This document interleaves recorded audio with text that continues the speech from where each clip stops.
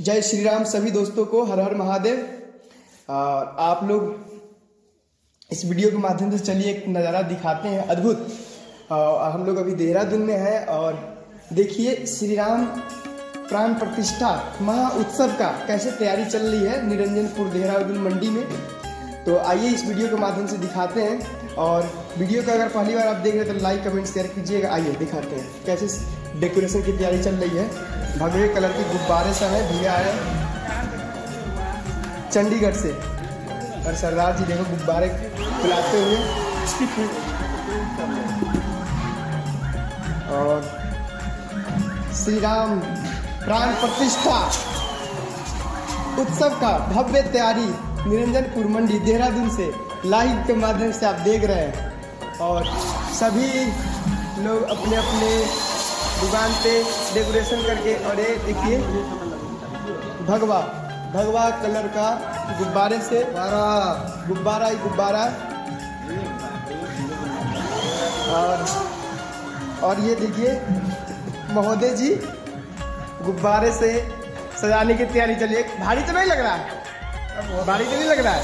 कहा? राम जी का राज में सब हल्का है। हाँ राम जी के राज का आगमन है और पहले वाली दुकान से सज चुकी है उस तरफ़ की। ये देखो इनकी। इनकी देखो प्राण प्रतिष्ठा की। इनकी बहुत बहुत खुश है। बहुत खुश है। कितना खुश है आप? बहुत ज़्यादा। कितना खुश है? कोई अंदाज़ा नहीं है कितना खुश है। दिल बाग बाग हो गया। एक बार बोल एक बार क्या बोलना चाहेंगे जय श्री राम। जय श्री राम! और देख लीजिए कितनी बड़ी, पूरे निरंजनपुर मंडी में भगवा कलर गुब्बारा से सजाया जाएगा। और सब तरफ़ और ये भगवा ही भगवा लोग चंडीगढ़ से आए हुए हैं भैया लोग। और और ये जो सरदार जी, ये भी चंडीगढ़ से हैं। और भव्य तैयारी का भव्य आयोजन का तैयारी चल रही है। तो जुड़े रहिए, कल के वीडियो में भी दिखाया जाएगा कि कैसे कैसे यहाँ पे भंडारा का आयोजन करता है। कहाँ से? बनारस से भी आए हुए हैं। कहाँ से भैया आप आए हुए गुब्बारा फुलाने के लिए?